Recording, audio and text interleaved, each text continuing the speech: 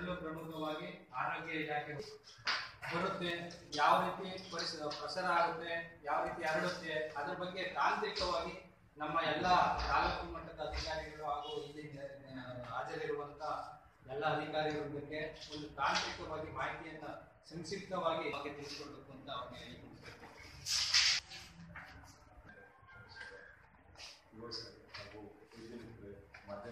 ನಮ್ಮ ತಾಲೂಕಿನಲ್ಲಿ ಜ್ವರ ಪ್ರಕರಣಗಳು ಹೆಚ್ಚಾಗಿ ಒಂದು ಹೆಣ್ಣು ಸೊಳ್ಳೆಯಿಂದ ಹರಡುವಂಥ ಜ್ವರ ಅಂತ ಕಂಡು ಬಂದಿದೆ. ಈಗ ನಮ್ಮ ತಾಲೂಕಿನಲ್ಲಿ ಒಟ್ಟು ಹದಿನಾಲ್ಕು ಡೆಂಗು ಪ್ರಕರಣಗಳು ಕನ್ಫರ್ಮ್ ಕೇಸ್ಗಳು ಕನ್ಫರ್ಮ್ ಆಗಿದೆ. ಹಾಗೆ ಚಿಕನ್ ಗುನ್ಯಾ ನಾಲ್ಕು ಪ್ರಕರಣಗಳು ಕನ್ಫರ್ಮ್ ಆಗಿದೆ ನಮ್ಮ ತಾಲೂಕಿನಲ್ಲಿ. ಬೇರೆ ಬೇರೆ ಭಾಗಗಳಲ್ಲಿ ಮಳವಳ್ಳಿ ಟೌನ್ ಸೇರಿಕೊಂಡು ಅಷ್ಟು ಪ್ರಕರಣಗಳು ವರದಿಯಾಗಿದೆ. ಏ, ಹೇಗಪ್ಪ ಈ ಕಾ, ಈ ಜ್ವರ ಹೇಗೆ ಹರಡ್ತದೆ ಅಂದರೆ ಒಂದು ಇದು ಈ ಜ್ವರನ ಫಿಮೇಲ್ ಮಸ್ಕಿಟೋ. ಹೆಣ್ಣು, ಈಡಿಸ್ ಈಜಿಪ್ಟ್ ಅಂತ ಒಂದು ಹೆಣ್ಣು ಜಾತಿ ಸೊಳ್ಳೆಯಿಂದ ಒಬ್ಬರಿಂದ ಒಬ್ರಿಗೆ ಹರಡ್ಕೊಂಡು ಹೋಗುತ್ತೆ. ಈ ಜ್ವರದ ಲಕ್ಷಣಗಳೇನೆಂದರೆ ಸಾಮಾನ್ಯವಾಗಿ ಏನು ನಮ್ಮ ವೈರಲ್ ಫೀವರ್, ನೆಗಡಿ ಜ್ವರ, ನೆಗಡಿ, ಕೆಮ್ಮು, ಜ್ವರ, ಮೈಕೆ ನೋವು, ಕೀಲು ನೋವು, ಇದೇ ರೀತಿ ಶುರುವಾಗ್ತದೆ.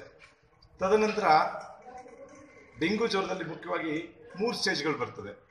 ಒಂದು ಸಾಮಾನ್ಯ ಡೆಂಗಿ ಹೆಮರೇಜಿಕ್ ಡೆಂಗಿ ಮತ್ತು ಡೆಂಗ್ಯೂ ಶಾಕ್ ಸಿಂಡ್ರೋಮ್ ಅಂತೇಳಿ ನಮ್ಮಲ್ಲಿ ಕಂಡು ಬಂದಿರೋದು ಸಾಮಾನ್ಯ ಡೆಂಗಿ ಯಾವುದು ಸಹ ಎರಡು ಮತ್ತು ಮೂರನೇ ಸ್ಟೇಜ್ಗೆ ಹೋಗುವಂಥ ಪ್ರಕರಣಗಳು ಯಾವುದು ಇದುವರೆಗೂ ವರದಿಯಾಗದಲ್ಲಿದೆ ಎಲ್ಲದಕ್ಕಿಂತ ಮುಖ್ಯವಾಗಿ ಡೆಂಗು ಜ್ವರ ಕಳೆದ ಮೂರು ವರ್ಷದ ಹಿಂದೆನೂ ಸಹ ಸ್ವಲ್ಪ ಹರಡಿತ್ತು. ಆಗ ಸ್ವಲ್ಪ ಆಘಾತಕಾರಿಯಾಗಿತ್ತು. ಈಗಿರುವಂಥ ಸಿರೋ ಟೈಪಲ್ಲಿ ಅಂತೂ ಅಷ್ಟು ಆಘಾತಕಾರಿಯಾದಂಥ ಡೆಂಗು ಕಂಡು ಬಂದಿಲ್ಲ. ಸಾಮಾನ್ಯ ಡೆಂಗಿ ಆಗಿದೆ. ಯಾವಾಗ ಜ್ವರ ಕಾಣ್ತದೆ, ಜನಗಳಿಗೆ ಒಂದು ಅವೇರ್ನೆಸ್ ನಮ್ಮಲ್ಲಿ ತೋರಿಸ್ಕೊಳ್ತಾ ಇದ್ದಾರೆ. ಈ ಲಕ್ಷಣಗಳ ಬಗ್ಗೆ ವೈದ್ಯಾಧಿಕಾರಿಗಳು ಎಲ್ಲಾದರೂ ಡೆಮಾನ್ಸ್ಟ್ರೇಟ್ ಮಾಡ್ತಾರೆ ನಮ್ಮ ಕೈಯಲ್ಲೂ ಇರಲಿಲ್ಲ ನಿಮ್ಮ ಕೈಯಲ್ಲೂ ಇರಲಿಲ್ಲ, ಅದು ಪ್ರಕೃತಿ ವಿರುದ್ಧವಾಗಿ ನಾವೇನು ಮಾಡಕ್ ಆದರೂ ಆದ್ರೂ ನೀವು ಅದನ್ನ ಸಹಕಾರ ಕೊಟ್ರಿ. ಈಗ ಕೆಲ ಈಗಿನ ಸೊಳ್ಳೆ ಸಮಸ್ಯೆನ ಈಗ ಅವಾಯ್ಡ್ ಮಾಡುವಂಥದ್ದು, ಅದನ್ನ ತಡೆ ಹಿಡಿಯುವಂಥದ್ದು ನಮ್ಮ ಕೈಯಲ್ಲಿ. ಅದನ್ನ ನಿಮ್ಗಳಲ್ಲಿ, ನಾನು ಮತ್ತೆ ಇವರು ಮತ್ತೆ ನಮ್ಮ ಪತ್ರಕರ್ತರ ಸ್ನೇಹಿತರುಗಳು ಕೊಟ್ಟಂತ ಸಲಹೆಗಳಲ್ಲಿ. ಎಲ್ಲಿ ಇದು ಜಾಸ್ತಿಯಾಗಿ ಹರಡ್ತಾ ಇದೆ ಅಂದ್ರೆ ಇತ್ತೀಚೆಗೆ ಎಲ್ಲಾ ಪಂಚಾಯತಿ ವ್ಯಾಪ್ತಿಯವರೆಗೂ ಬರದೇ ಇದ್ರು ಕೆಲವು ವ್ಯಾಪ್ತಿಗಳಲ್ಲಿ ಈ ಚೌಟ್ರಿಗಳಲ್ಲಿ ಮದುವೆಗಳು ನಡೀತಾ ಇದೆ. ಮಳವಳ್ಳಿ ತಾಲೂಕಲ್ಲಿ ಹೆಚ್ಚು ಕಡೆ ಒಂದು ಹತ್ತು ಚೌಟ್ರಿಗಳಲ್ಲಿ ಆತರ ಮದುವೆಗಳು ನಡೀತಾ ಇದೆ. ಆ ಚೌಟ್ರಿಗಳನ್ನ ಸಿಕ್ಕಾಪಟ್ಟೆ ಗಲೀಜು ಮಾಡ್ತಾ ಇದ್ದಾರೆ. ಅವ್ರೇನ್ ಮಾಡ್ತಾ ಇದ್ದಾರೆ? ಪ್ಲಾಸ್ಟಿಕ್ ಅಲ್ಲಿ ಊಟದಲ್ಲೇ ತಂದು ಬಿಸಾಕ್ತಾ ಇದ್ದಾರೆ. ಕುಡಿಯೋ ನೀರು. ಪಂಚಾಯತಿಗಳಿಗಂತೂ ನಾನು ಖುದ್ದಾಗಿ ಹೇಳಿದ್ರು ಅದನ್ನ ಗಮನ ಹರಿಸ್ತಾ ಇಲ್ಲ. ಅದರಿಂದ ತಾವುಗಳಲ್ಲಿ ಯಾರು ತಮ್ಮ ವ್ಯಾಪ್ತಿಗೆ ಚೌಟ್ರಿಗಳು ಬರ್ತವೆ. ಖಂಡಿತವಾಗ್ಲೂ ಇವತ್ತೇ ನೀವುಗಳು ಇದನ್ನ ಮುಗಿಸಿದ ತಕ್ಷಣವೇ ಒಂದು ನೋಟಿಸ್ ರೆಡಿ ಮಾಡಿ ಕಂಪಲ್ಸರಿ ಅದ್ರ ಓನರ್ಗೆ ತಲುಪಬೇಕು. ಆ ಮ್ಯಾನೇಜರ್ ಇರ್ತಾನೆ ಓನರ್ ಇಲ್ಲ ದೊಡ್ಡ ಶ್ರೀಮಂತ ಆದರೂ ನಮ್ಗೆ ಅದು ವಾದ ಇದೆ ನೀವು ಏನು ಈ ಗಲೀಜಾಗಿದೆ ಅದು ಚೌಟ್ರಿ ಪಕ್ಕನೇ ಬಿಸಾಕಿರ್ತಾರೆ, ಸುತ್ತ ಪಕ್ಕದ ಹಳ್ಳಿಗಳಿಗೆಲ್ಲ ಸ್ಮೆಲ್ ಹೊಡಿತಾ ಇದೆ.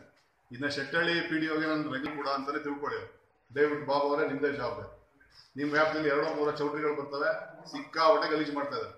ಅದೇನಾದ್ರು ಮುಂದುವರೆದೇ ಅಲ್ಲಿ ಈಗ ಅಲ್ಲಿ ಏನು ಗಲೀಜಿನ ಪಕ್ಕದಲ್ಲಿ ಹಾಕಿದ್ರೆ ಈಗ ಮುಗಿದಿದೆ ಮದುವೆಗಳು ಒಂದು ತಿಂಗಳು ಖಾಲಿ ಇದೆ. ಈಗ ಅವ್ರು ಇಮಿಡಿಯೇಟ್ ಆಗಿ ಕ್ಲೀನ್ ಮಾಡಬೇಕು. ಅಲ್ಲಿ ಒಂದೇ ಪ್ಲಾಸ್ಟಿಕ್ ಮತ್ತೆ ಮಾಡ್ತೀನಿ ಅಂತಾನೆ ನೋಟಿಸ್ ಕೊಡಿ. ಅದೊಂದು ಪ್ರತಿನ ನನಗೆ ವಾಟ್ಸಪ್ ಹಾಕಿ ಈವರೆಗೂ ನಾನು ಕಾಪಿ ಕೊಡ್ಬೇಕು. ನಿಮ್ಮ ಜವಾಬ್ದಾರಿ. ಈ ಶೆಡ್ ಹೋಟ್ಲ್ಗಳು ನಡೆಸ್ತಾ ಇರೋಂಥದ್ದು ಅಂತ ಗಡ್ಡಿ ತುಂಡದಂಗೆ ಹೇಳಿ ಅವ್ರಿಗೆ ಅವ್ರೇನು ಅನುಕೂಲಸ್ಥರು ಇರೋದು ಪುನಃ ನಮ್ಮ ಕೈಲಿ ಪ್ರೆಷರ್ನು ಹಾಕ್ಸ್ಬೋದು. ನಾವು ನೋಡ್ರಪ್ಪ ಒಂಚೂರು ತಡ್ಕೊಳ್ಳಿ ಅಂತ ಹೇಳ್ಬೋದು ಬಟ್ ನೀವು ಅದಕ್ಕೆ ಆಸ್ಪದನೆ ಕೊಡಬೇಡಿ. ಅವ್ರುಗಳು ಲಾಭ ಮಾಡ್ತಾ ಇದ್ದಾರೆ. ಅವ್ರುಗಳೇನು ಪ್ಲಾಸ್ಟಿಕ್ ಕಪ್ಪನ್ನ ಅವ್ರೇನು ತರೋದಿಲ್ಲ. ತರೋರು ಮದುವೆ ಮಾಡೋರು ತರ್ತಾರೆ. ಅದರಿಂದ ಅವರು ಅದನ್ನ ಅಂತ ಹೇಳಿ ಅವ್ರ ಕಡ್ಡಿ ತುಂಡದಂಗೆ ಅವ್ರು ಈ ಬೆಳಗಿನ ಜಾವ ಟೀ ಕುಡಿಯೋಂಥ ಕಪ್ಗಳು ಕೂಡ ಪ್ಲಾಸ್ಟಿಕ್ ಉಪಯೋಗಿಸ್ತಾ ಇದ್ದಾರೆ. ನಮ್ಗೆ ಈ ಡಾಕ್ಟರ್ ಕೊಡೋ ಸೂಚನೆ ಏನಂದ್ರೆ ಅಲ್ಲೇ ಒಂದೆರಡು ದೊಡ್ಡ ಹನಿ ನೀರಲ್ಲೇ ಡೆವಲಪ್ ಆಗ್ತಾ ಇರೋಂಥ ಸೊಳ್ಳೆ, ಆ ಪ್ಲಾಸ್ಟಿಕ್ ಕಪ್ನ ಶೆಡ್ ರೋಡ್ನವ್ರು ಬಳಸೋ ಕೂಡುದು ಅವ್ರು ಬಳಸಿದ್ರೆ ನೀವು ಮುಚ್ಚಾಕ್ತೀವಿ ಅಂತಾನೆ ಹೇಳ್ಬೇಕು. ನೀವು ಆದೇಶನ ಕಡ್ಡಿ ತುಂಡದಂಗೆ ಕೊಡ್ಬೇಕು. ಆಮೇಲೆ ಮಾಡಿ ಒಂದು ತಿಳುವಳಿಕೆನೂ ಕೊಡಿ ಅವ್ರು. ಎರಡನ್ನೂ ಕೊಟ್ರೆ ಯಾ- ಕೆಲವರು ಒಂದಷ್ಟು ದಿವಸ ತಿದ್ಕೊಳ್ಳೋದು ಕಷ್ಟ. ಪದೇ